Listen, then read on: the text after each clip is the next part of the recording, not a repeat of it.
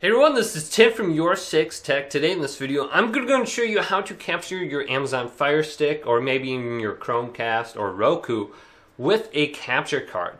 Now, I went on to Amazon.com and I bought this HDMI video capture card, and this is a cheap video capture card. It's only $17 and it has 1080p at 30 frames per second, but allows me to capture my Amazon Fire Stick, and I'll show you. So this is all you get in the box is pretty much the capture card and some plastic, and I'm going to plug it in with HDMI cable on my Fire Stick 4K Max.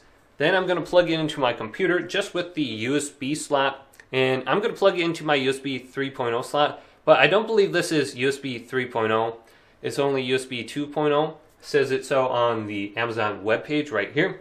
And the brand is called LinkBand. So LinkBand HDMI video capture card. I'll have it linked in the description below for you to check it out on the Amazon webpage. So let's plug it in and open up OBS and I'll show you how to set it up. It only takes a few minutes.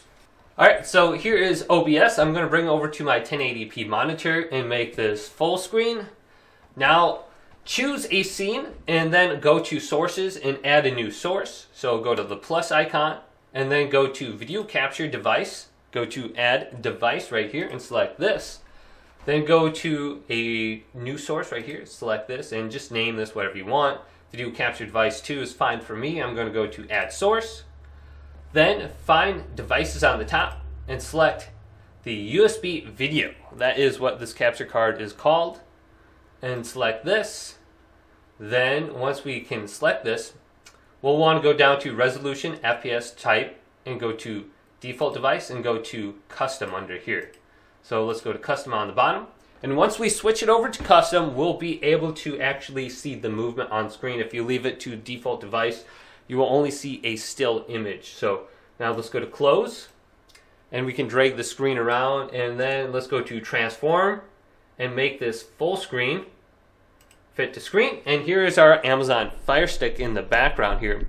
So I'm going to do a quick review on the Amazon 4K Fire Stick later on today. But I'm going to have to set this up. And you can see the movement on the screen. Let's see if I can hold down any of these buttons. So I was playing the PlayStation 5 with it earlier. And you can see it's moving on the screen. And there's maybe like a quarter second of input delay. And it seems like it captured it well. Uh, the video quality looks decent.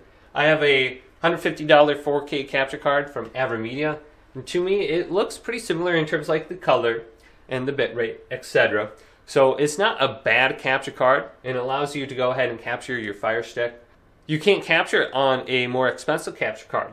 Like on the PlayStation 5 here, you can turn off HDCP and then capture the actual uh, video screen However, with the Fire Stick, you don't have the option to turn off HDCP, so you need a different capture card.